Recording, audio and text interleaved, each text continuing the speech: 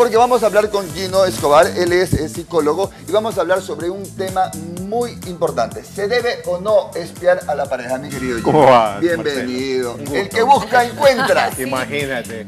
Lo que pasa es es que la pregunta, eso. la pregunta que tú haces es interesante porque de pronto parecería que el que ama tiene que ocuparse, más que todo, preocuparse de andar fisgoneando a la pareja. Y hay mucha gente que concibe eso como normal o natural y no tiene nada que ver porque la confianza es un valor que está dentro de las relaciones de pareja. Si tú confías, no espías. Pero el que necesita espiar es porque probablemente trae detrás algún aprendizaje no adecuado Dudas. y eh, viene con un- Claro, un- una situación dice. muy, una base de inseguridad que no genera una relación basada en amor y respeto y la desconfianza existe. Y es excitante para el espía, para el fijón. Eh, Claro, eh, efectivamente. eh, dentro de las parafilias, la escoptofilia es eso, el fijón, ¿no? Oye, pero lo, lo- lo más buscado, ansiado, es la clave del celular de tu pareja. Que es verdad que las parejas que, que se llevan, se, eh, se confían la una a la otra, no deben tener eh, la Claves. clave con clave. Lo que ocurre es que en el tema de la clave, después de lo que pasó alguna vez eh, de un futbolista, el Potro creo que se llamaba, que, que se le robaron los, los datos y salió una, una película que había hecho con su novia, ¿no? Claro. Entonces, Bueno, eso ha pasado el colocar, de gente. el colocar la clave, inclusive para ciertos archivos, de- es una forma de seguridad por el robo. Ok, entonces, pero la pareja tiene que tener esa clave, entonces. Es que el detalle de tener la clave y en quién confías tiene que ver con el vínculo que has creado.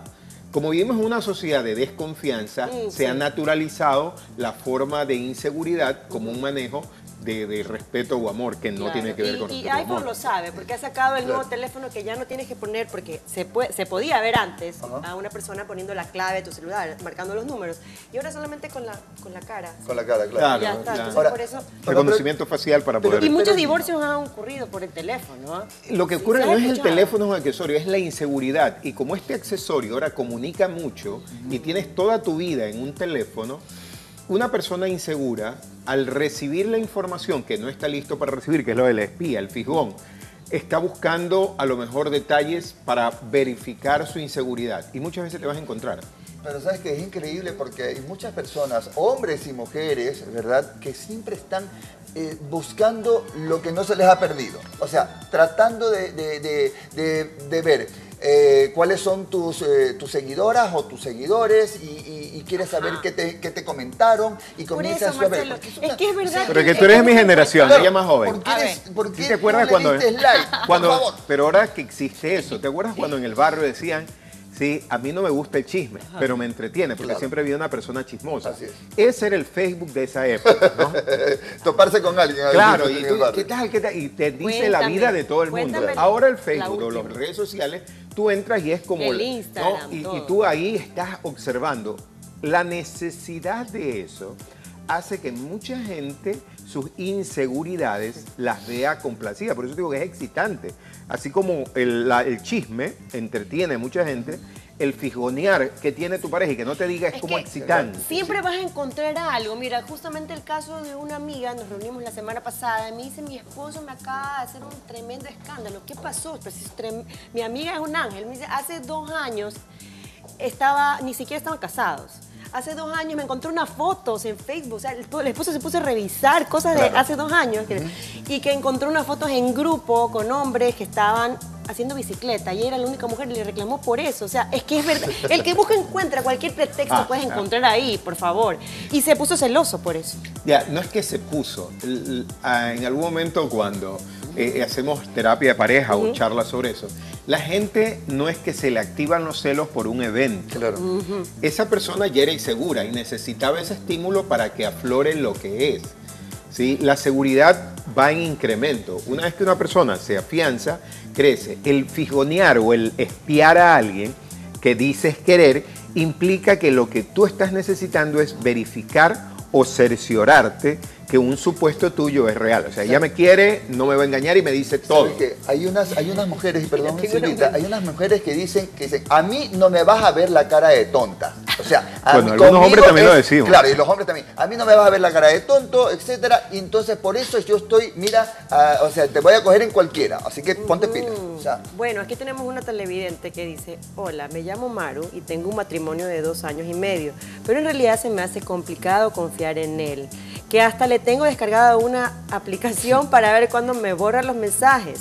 Sé que estoy un poquito loca, pero ya no depende de mí. ya lo está, ella Bueno, está. eh, Claro, ah, que se ven dicen los abogados, que no sé yo, a reconocimiento de, de parte, relevo de prueba. es lo que ocurre. Que ella reconoce, esto tiene que ver Dios con las celopatías, mío. que es una enfermedad. No existe el celo bueno, el celo pequeño. El celo es celo, el inseguro es inseguro. Si la relación tiene dos años, no ha logrado madurar, el espiar, mira que el, la- el WhatsApp web, cuando salió el WhatsApp web, hay gente que disfruta.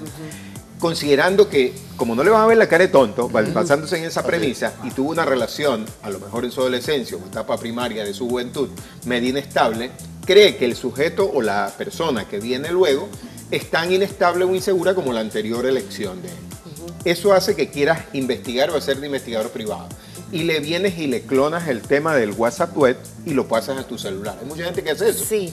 ¿sí? Y, tienes conversaciones. Pero eso puede hasta malinterpretar. Mucho. Exactamente. Me recuerdo. Lo que ustedes dicen, el que busca encuentra. Muchas Malinterpreta, sí, por personas favor. que tienen un trato entre amigas de, ah, mi amor, ¿qué fue? ¿Qué- Como pana. ¿Qué fue, mi amorcito? Y- No le dices así. Claro, y viene ella y dice, yo sabía. Y eso valida su supuesto. Regularmente Así una es. persona que espía, que no trabaja en la CIA, ¿sí? regularmente lo que está queriendo es desbaratar su propio compromiso y validar sus inseguridades. Esto quiere Mm, decir... Eso está interesante. Claro, es que es una persona insegura que no ve que el medio no es el adverso, sino su situación y que le toca resolverlo. Y al espiar lo que quiere validar es su supuesto de que la otra persona no es confiable. Si ella lo eligió, tiene dos años con él, entonces a la que tendría que espiar es a su propia subjetividad, porque para llevar a elegir a un sujeto que no es confiable, no es el elegido el que no es confiable, sino el elector que no supo elegir. Bueno, en esto que estábamos hablando de que la gente malinterpreta, yo recuerdo hace algunos años que un ex me cogió el teléfono y vio justamente un mensaje que yo le mandaba a una amiga cuando vino Paulina Rubio hace años. Íbamos a ir al concierto y yo le puse a ella el mensaje de una canción porque estábamos acordándonos mientras hablábamos por teléfono y le Yo no puse soy no, esa no, le puse le puse ah ya la que me gusta le puse mío mío ese hombre es mío entonces cuando me dice, ¿a quién le, pus- le pones eso? Y mi amiga se llama María Gusa, yo le tengo como Guti. ¿Quién es Guti? ¿Y por qué le dices mío? Yo, o sea, ¿pero qué te pasa? ¿Estás loco? Claro, Pero la claro, gente cuando busca encuentra y malinterpreta Ahora, totalmente los, Gino, las eh, ¿este tipo de conversaciones. personas eh, necesitan terapia? De hecho, la pregunta que usted hace, ¿se debe espiar a la pareja? No, porque si ya tú decides en tu imaginario espiarla, es porque ya se está rompiendo la relación.